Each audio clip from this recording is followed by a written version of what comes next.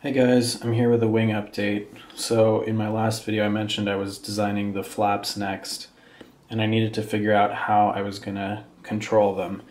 So I kind of settled on this system of U-joints and so in the middle here there's the control arm. This will lay flat inside the wing and there'll be a panel above it that swings open.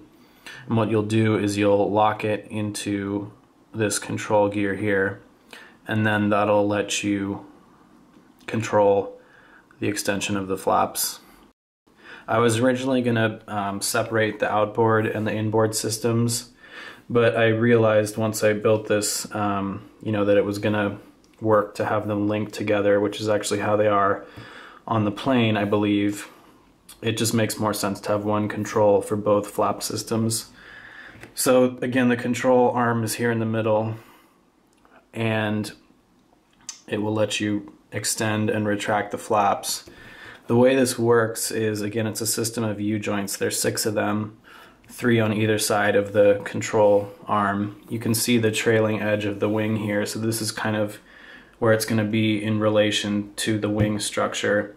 But these little um, pointer things show where it's going to connect to the flap system. Four points of connection. There are two for the outboard flaps here, um, you can see that they line up with the flap fairings. So this is where the flap track is going to be. And then there are two on the inboard flap, one on the outboard edge and then one on the inboard edge that will actually sit underneath the cabin floor. You can see the windows here, so that's about where it's going to be. So what these U-joints do is they translate the motion along a kind of zigzag path from the control arm all the way out to the flap systems.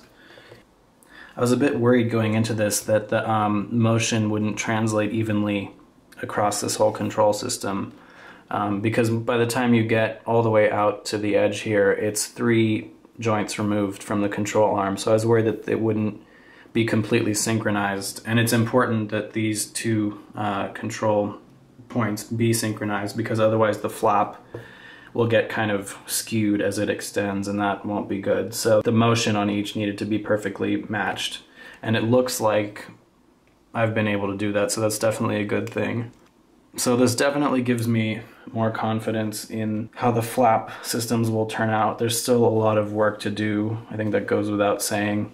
There's a lot of really complex stuff going on here, but at the very least, I am pretty sure I know how the flaps are going to be controlled. And there'll be other controls in this little kind of hatch area too. One for the spoilers, which will be linked together, and then one for the leading edge. And I have to design both of those systems, but that will be done once I get the flaps out of the way.